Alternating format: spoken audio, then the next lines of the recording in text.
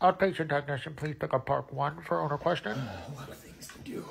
So many things. Hi there, I'm Tom. I'm one of the technicians here. I understand you're calling about your pet? Hi, Thomas. I have an animal emergency and I need exact directions to your clinic immediately. Okay, that's not a problem. Where are you calling from? Well, why do you need to know that? Well, I, I need to know where you're at so I can give you directions like you asked. Well, I'm not telling you where I live. So when you get here, we are going to need your actual address to register your pet, but for now I just kind of need a general area of where you're coming from. Well, that's just really personal information and I don't see why you need to know that. Well, you, you want directions to the clinic, right? Yes, I think my dog's dying and if you don't give me exact directions soon, he's definitely going to die because of you. So in order to give you directions, I need to know where you're located so I know where you're starting from so I can get you to where you need to end.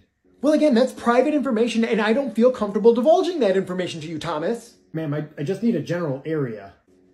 What? Well, are, are, you in the city? Are you in the suburbs? Is it a northern suburb or a western suburb? Can you give me like a, a town name or a city name or, or street intersection, anything? Well, how do I know I can trust you with that information? There's a lot of criminals out there these days, Thomas.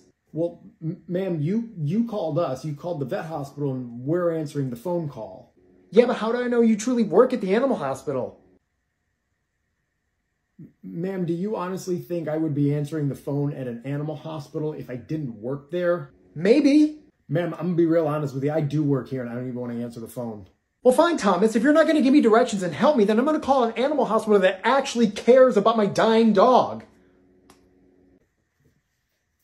Oh, I got so much stuff to do. Answering these calls always takes me away from everything. Outpatient technician, please pick up line 1 for owner question. Line one again. Okay. Right. Hi there. This is Tom. I'm one of the technicians. How can I help you? Hi, Thomas. I need directions to your clinic immediately. Oh,